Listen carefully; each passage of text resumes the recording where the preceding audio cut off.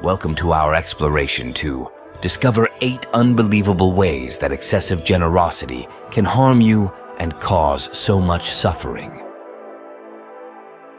In this video, we'll delve into the Stoic principles and explore four Stoic strategies to protect yourself. In a world rife with foreign tensions, we're schooled in generosity, often placing it above our own needs. But heed the cautionary voice. Excessive kindness can be perilous.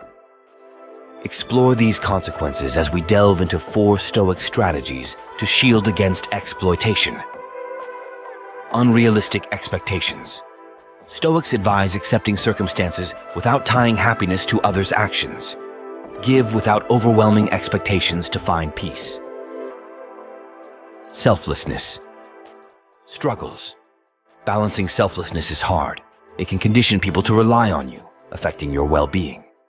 Stoicism promotes rational, balanced giving. Neglecting priorities. Overcommitting to others' needs can hinder your well-being. Prioritize self-care before helping others. Perceived weakness. Constantly helping may invite exploitation. Stoicism advocates boundaries and discipline to cultivate inner strength. Attracting takers. Giving indiscriminately may attract takers, not genuine givers. Practice discernment. Drawing needy individuals. Indiscriminate giving draws needy people. Cultivate authentic relationships through discernment. Risk of addiction. Continuous giving amid personal scarcity can lead to addiction. Maintain moderation. Suspicions arise. Genuinely kind individuals are rare.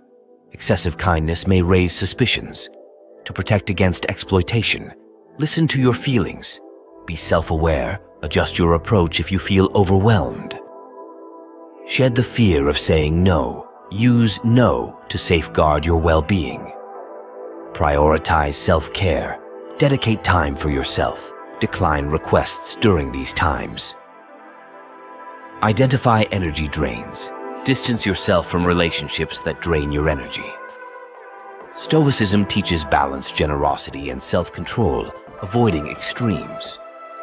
Use the power of no when needed, maintaining well-being while staying kind and compassionate.